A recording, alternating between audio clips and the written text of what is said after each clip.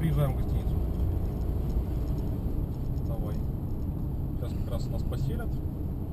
Приезжаем с вами в гостиницу. Ну тогда давайте поселимся, и потом я уже продолжу рассказ про Чернобыль.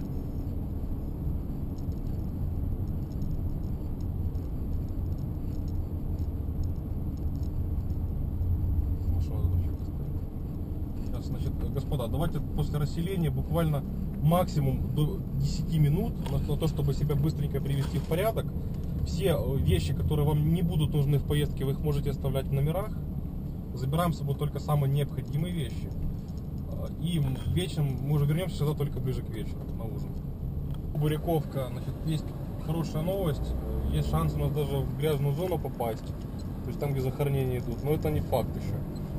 Мы, наверное, уже завтра потратим на это время. Надо будет нам заехать к дежурному, который занимается контролем всех этих заявок, и узнать его про возможность, чтобы туда перезвонили, уточнили. Чтобы нас уже там ждали, не просто мы приехали и потом думали, куда нам, где нам размещаться. Видишь, не он здесь размещается. Два дня. Два дня, да? На- иностранцы, наверное, да? Поляк. Поляки? Нет. А у них там еще есть одна гостиница, да? Да. Ну, Туристовская, да? Да. А это обычная. Обычно не. Ну, ну, кстати, абсолютно адекватный вариант. В зоне просто Ну, проблема да. вообще с инфраструктурой туристической. Тут ее просто нету.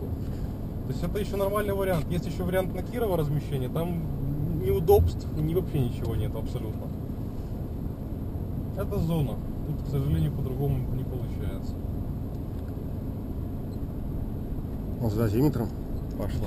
Дальше, когда относительно самого города Чернобыля, то есть и, и, в принципе того, как здесь работает э, народ. Значит, есть две основные вахты, самые распространенные из них это 4-3, то есть это в основном актуально для офисных работников. 4 дня вы работаете здесь в Чернобыле, в офисе, и на третий, собственно, и- три дня потом проводите дома. То есть на, на четвертый день где-то ближе к обеду вас уже забирает транспорт, вы уезжаете домой к себе, и в понедельник утром уже обратно возвращаетесь на работу. И еще одна вахта, это вторая вахта, так называемая 15-15. 15 дней вы работаете здесь, вот, и 15 дней вы уже проводите дома. Потому, в принципе, из-за того, что народ работает здесь по 15 дней, здесь кроме как алкоголя других развлечений нет.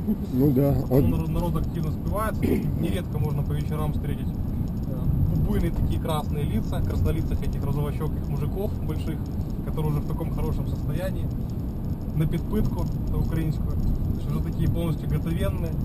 Бывают также иногда и драки вечером в баре. Вот, ну, я думаю, мы туда ходить не будем, искать приключений мы тоже не будем. Надо, чтобы у нас все цивильненько прошло. Все эти такие вот дома, которые сейчас вот остались, пятиэтажки, они все используются как жилфонд для коммунальной собственности. То есть, когда вы приходите на работу в зону, вам выдают так называемое койко-место. То есть, это э, возможность, э, по- получается, разместиться в каком-нибудь там таком домике. Также вас обеспечивают продуктами питания, то есть в виде таких специальных талонов вас кормят. Ну и, собственно, выплачивают зарплату, которая на некоторый коэффициент, всего лишь там буквально полтора или 1,2, повышается от остальных территорий. То есть она несущественно отличается. Собственно, магазин. Предлагаю тогда сейчас быстренько зайти скупиться, не тратить много времени и двигаться дальше.